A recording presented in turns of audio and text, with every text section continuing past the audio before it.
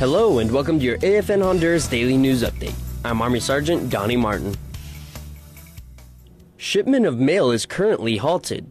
Army Sergeant Michael Lemons tells you why. Last Friday, October 7th, a truck carrying mail for Soto Cano was robbed en route to the embassy. Everything that was in the vehicle is currently missing. The embassy, JSF, local police, and the 612th are still investigating the robbery. The post office recommends you contact loved ones to determine if and when mail was sent to Soto Cano. Gather receipts and tracking information on purchases made online with shipments during this time frame. If your mail was secured and you have a receipt, you can file a claim. You can go online to USPS.com and it has detailed instructions on how to mail it. If you need any questions or any help, just come by and see me at the post office and I'll give you a hand.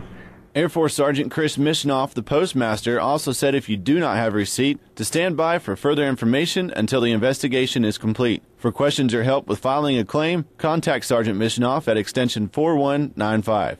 Army Sergeant Michael Lemons, AFN, Honduras. The intramural flag football season starts tomorrow. Yesterday, referees and coaches met to discuss the final details. Army Sergeant Peter Sinclair has more.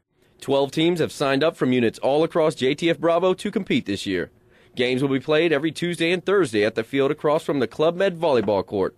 The season begins tomorrow at 6. Army Sergeant Peter Sinclair, AFN, Honduras. The billeting office will be conducting an inspection of randomly selected items starting Thursday.